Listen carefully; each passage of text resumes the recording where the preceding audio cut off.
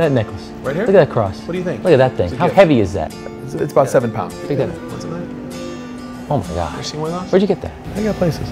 Really? That's, that's an official Mexican cross. An at that. Italian guy. An Italian guy. I'm intercontinental.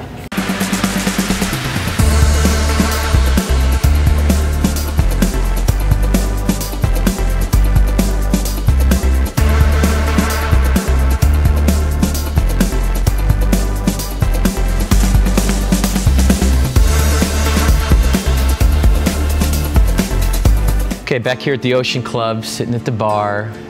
Looky here. What do you got? You ever had a bourbon?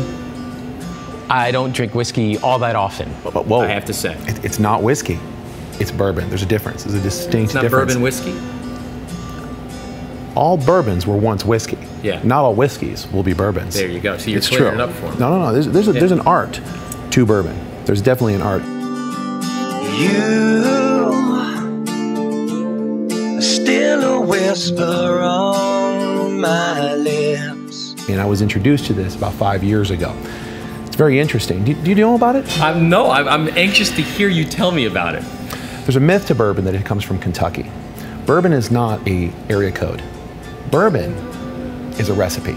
Really? Yeah, bourbon is a recipe. How it's put together, white, new oak barrel casks, 51% American corn, aged minimum two years, some prefer four. Bourbon is straight on. No additives, nothing added in later, no mixes, no blends, done. People think that what we do in our accessories, belt's a belt, this is that. No, our sock is a sock. We make the best sock on the planet. If you ever had the time, I'll tell you why. There's a lot of things that go into the products that we do. And the people that know about bourbon and the people that know about our product get it. You're wearing product right now. What do you got Our here? bracelets. Yeah. Came up with this. This year we're launching. That's going to be a great year for this. We're using 92.5 sterling silver in all our bracelets. It's a, it's a wonderful little accessory we're doing. Guys have to be finished right through here.